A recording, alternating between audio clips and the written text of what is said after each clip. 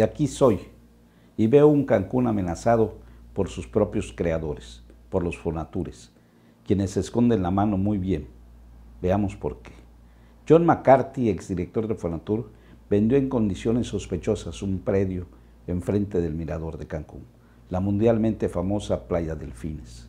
Los italianos también querían una salida a la playa y McCarthy pretendió venderles una parte de Playa Delfines.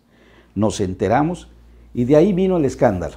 Los cancunenses nos opusimos, hubo marchas, denuncias en los medios y sin hablarnos nos unimos y logramos que el Fonatur, que ya dirigía Miguel Gómez Montt, decidiera cancelar la venta de ambos predios, entregándole al ayuntamiento de Benito Juárez esa playa tan valiosa para el destino turístico y tan requerida por los turistas y locales, que llegando del aeropuerto a la zona hotelera, mínimo se detienen a ver el magno espectáculo del mar de Cancún.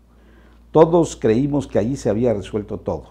Hoy vemos una cerca muy disimulada por el follaje verde y que segmenta un espacio más que generoso de terreno y de playa, y nadie sabe de quién o para qué es, porque entre la playa Delfines y el Hotel Hilton no existía ningún predio.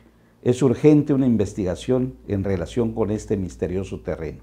Evitemos que vayan a pretender construir un hotel o un edificio de 8 a 10 pisos en esa zona, que no es de nadie, solamente es de los mexicanos y de los cancunenses que la compartimos con el mundo.